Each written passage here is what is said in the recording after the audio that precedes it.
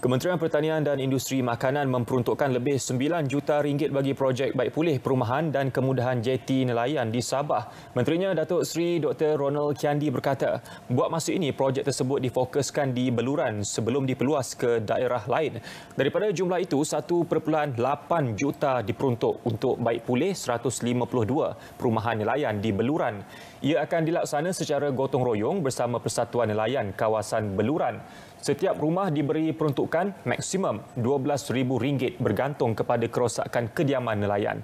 Bagi projek baik pulih JT Nelayan Beluran, JT Kampung Seri Menanti dan JT Kampung Muanat 2 pula masing-masing menerima peruntukan RM50,000.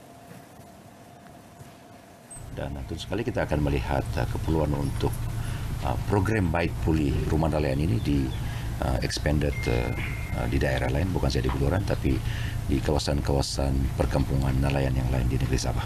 So kita akan gunakan dana uh, yang ada di uh, LKM ini untuk tujuan tersebut dan untuk melaksanakan uh, uh, pembinaan seperti yang dihasratkan oleh uh, uh LKM. Setakat ini sebanyak 48 rumah nelayan telah siap dibaik pulih manakala 102 buah rumah lagi sedang menjalani proses baik pulih. Program ini membolehkan nelayan menikmati kehidupan lebih selesa dan memudahkan mereka mendaratkan hasil tangkapan.